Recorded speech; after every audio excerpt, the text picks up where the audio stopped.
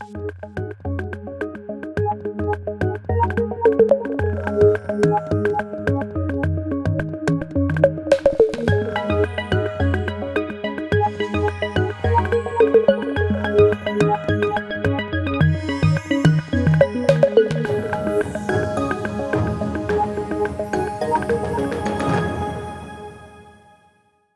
my name is Larry Martin and I'm a solutions consultant with Beyond 20. Today I want to show you how to set your maintenance calendar on a series or group of CIs inside the CMDB. What I'm referring to is if you open a CI like the uh, server out of the box, you have a maintenance calendar that you can select. Now this goes against your business hours, not an actual calendar. So for example, we have this maintenance window here and if we edit it, it shows us that we can have a maintenance window from Sunday from midnight until 5 a.m. However, we don't have a maintenance window on Monday. Uh, Tuesday, Wednesday, Thursday, Friday, and Saturday are all blank. So for this CI, this maintenance window, the only time allowed to perform service, uh, reboot the system, etc., is from on Sunday from midnight to 5 a.m. Now you may have different types of maintenance windows, like uh, only on weekends. Out of the box, you will see some that um, some CIs have this set as their maintenance window. So Sunday from midnight uh, until midnight, Saturday midnight to midnight, but then nothing else on Monday, Tuesday, Wednesday. Now you may have your own maintenance window that you create which allows maintenance to happen seven days a week from 8 p.m. until 4 a.m. or whatever that may be. Um, and updating your CIs, you don't want to have to go through each individual CI, especially when you have thousands, and pick that CI and select a maintenance window and save it and then have that new maintenance window. Now the maintenance windows come into play when you're doing change requests.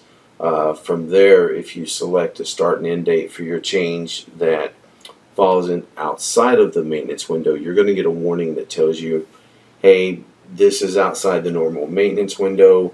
You should uh, submit this as an emergency change or you know you can override it and then cab or whomever will uh, stop that. But once you have your maintenance window set up, you want to be able to update your servers. Now you can do a um, search to say, you know, find me all servers where the server type is application or domain controller and limit your list or, you know, based upon primary use, etc., etc. I've added the maintenance calendar here so that you can see that we have service desk hours for one, weekend for two, maintenance window for two more. Since this is the out-of-the-box system, I've only got five server CIs, but I want all of them to have the same maintenance window, and it's going to be this maintenance window calendar. Um, I'm going to use the term calendar because that's what it looks like, but it's really a business hours definition. It's not a calendar. Uh, that can confuse you when you're looking at the server and you've got this calendar icon, you've got the term maintenance calendar. Um, it can lead to some confusion. Also, whenever you come in here to pick something, now all of a sudden you're seeing these maintenance windows and you're like, well, how do I pick a maintenance window in a one-step?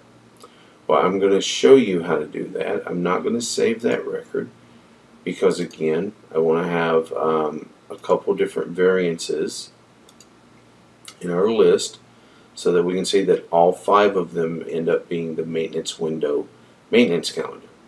Alright, let's look at our one step. I've already created it and I'm doing all of this in the rich client.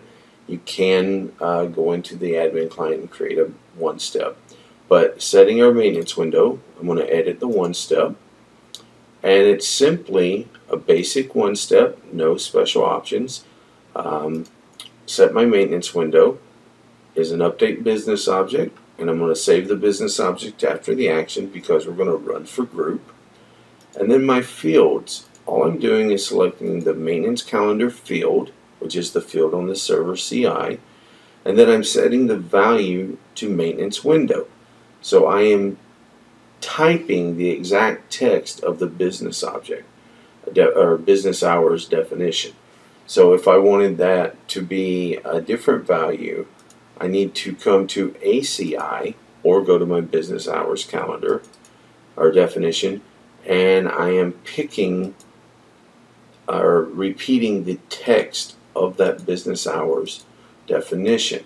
So I could say service space desk space hours and that text will come back and be uh, selected and that will select the exact um, business hours definition.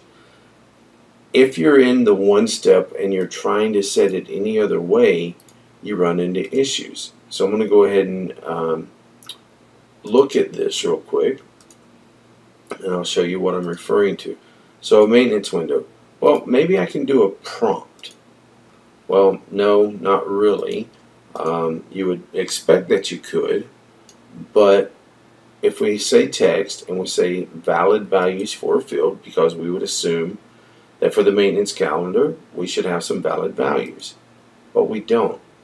There is nothing here to allow us to get to the business hours definition. Uh, values from a list. Well, what list? We, we don't have a list here. Um, so what if we go values from a collection?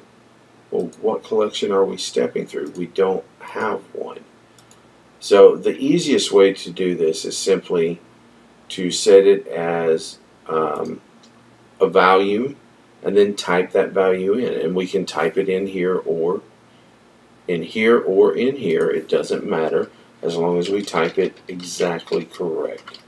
So we set that we say OK. And now, with our group selected, so however you edit your search, we can now go to our one-step, one-step manager, set our maintenance window, and run for group. And now, if we manually refresh, because I didn't uh, include a refresh in the one-step, we'll see that our maintenance calendar for every server is the maintenance window.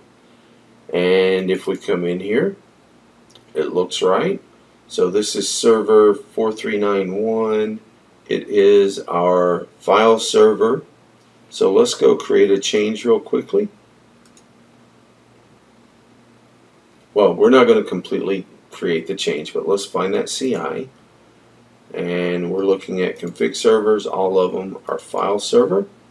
And we're going to propose a start date of today and there we are. It's telling us that our current dates selected are not in the normal maintenance window. Would you like to propose new dates or create an emergency change? And then we have the option to create our emergency change or clear our proposed dates and start over.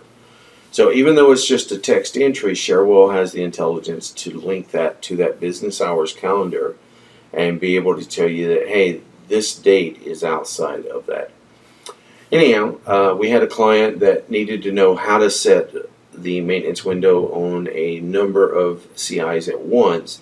And I thought, you know, this would be a good video. So here's the video. I hope you find it useful. Please subscribe to our YouTube channel. We produce these videos every week for you. Uh, if you have a question, feel free to email us, tweet at us, or throw a comment in the channel, and someone will respond and or will create a video for you showing how to do what you've asked. Thank you. Thank you.